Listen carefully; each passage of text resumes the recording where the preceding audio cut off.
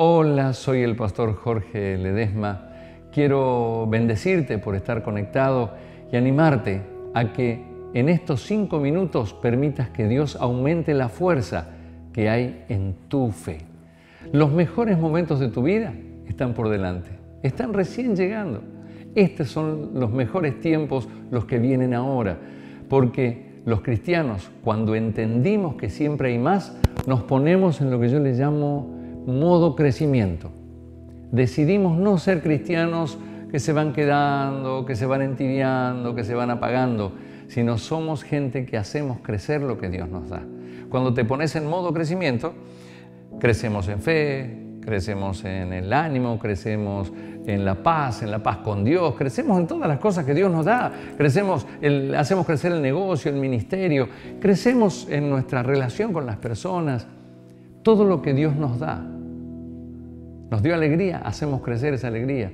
Todo lo que Dios nos da lo ponemos en modo crecimiento. Cuando pasa esto, Dios se complace con vos y no solamente te hace disfrutar mucho más de lo que te dio al principio, porque siempre te sigue dando más cuando estás en modo crecimiento, sino que además, después de verte en esa actitud, también te regala premios. De Dios recibimos herencias, recibimos dones o regalos, cuando estamos en Dios podemos conquistar nuevas cosas, pero lo fuerte es recibir premios de Dios. Cuando Dios te premia y te dice, buen siervo y fiel, cuando uno se pone en modo crecimiento, número uno, Dios siempre te da más. Y número dos, viene premio. Estaba leyendo en la Biblia, en Lucas 19, una historia muy interesante.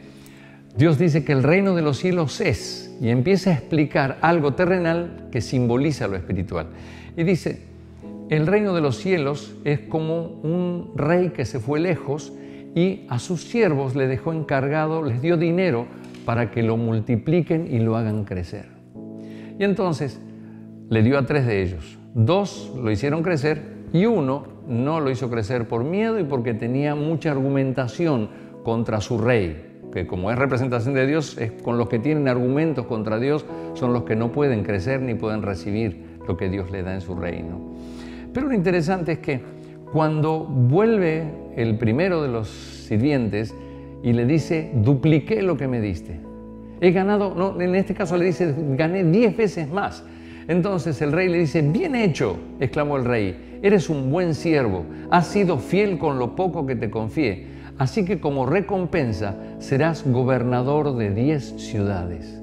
Lo que Dios le está diciendo es, hasta ahora fuiste un siervo que tenía el dinero que te di, cinco bolsas de dinero, dice la historia, ahora tenés diez bolsas de dinero por lo que lograste y conquistaste, porque fuiste un cristiano activo, activaste tu fe y creciste. Pero ahora lo que voy a darte es más que esos cinco bolsas extras que ganaste. Lo que voy a darte ahora es un premio espiritual. Eras un sirviente, ahora vas a ser gobernador de diez ciudades. Así que te animo a que la clave la tomes profundamente. Es estar en modo crecimiento y no ser como ese siervo infiel que argumentó contra Dios y tenía miedo. No tengas miedo, confía en Dios y sé activo en tu cristianismo. Hace crecer lo que Dios te dio, tu fe, los regalos que tuviste, las cosas que lograste, seguilas haciendo crecer. Ponete en modo crecimiento, porque además de que vas a obtener muchas victorias y muchas bendiciones, viene un premio gigante de Dios. Señor, yo oro ahora para bendecir a esta preciosa vida, a esta preciosa persona en el nombre de Jesucristo y declaro ahora, Señor, que va a seguir creciendo, va a seguir conquistando. Aunque haya tenido problemas y frustraciones que le hicieron perder muchas cosas, en vez de bajonearse y seguir perdiendo, decide tomar la decisión de crecer y esforzarse. En todo lo que Dios le dio, va a crecer y declaro, Señor, en tu nombre, que vienen premios del cielo para esa vida. Que Dios te bendiga. Te animo a que te suscribas al canal, que le hagas clic ahora y que te suscribas y estemos siempre en contacto. Bendiciones.